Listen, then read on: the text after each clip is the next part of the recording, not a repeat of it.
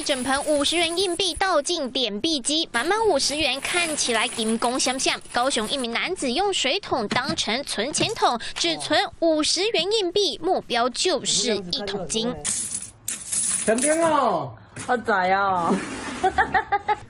年了，人家杀猪工，结果变成杀水桶。存了两年的五十元，重量将近四十公斤，拿去邮局点一点，高达十八万。影片抛网，网友热烈回应：“你这还存不到一桶哎，存钞票更有成就感。这个数到后面很像在整自己，无痛存钱法，妙赚十八万。”拿去邮局的时候，拿了两次，他就说：“口哥不要再拿过来了。”他数的我那些钞票，数那些硬币就数的快要。一个小时多，看到全部都硬币拿来存，邮局人员真的很差。虽然机器数硬币一万元只要数七秒，但因为五十元容易出现假币，需要人工检查，真的要花很多时间。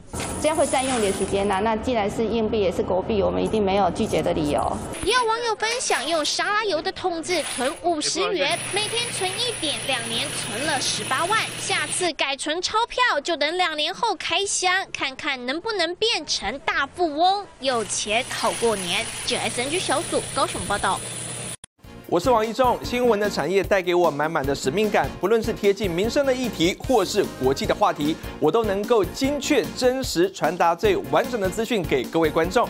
当然，更多的新闻请锁定中视 YouTube 频道，记得按赞、订阅、分享，并开启小铃铛哦。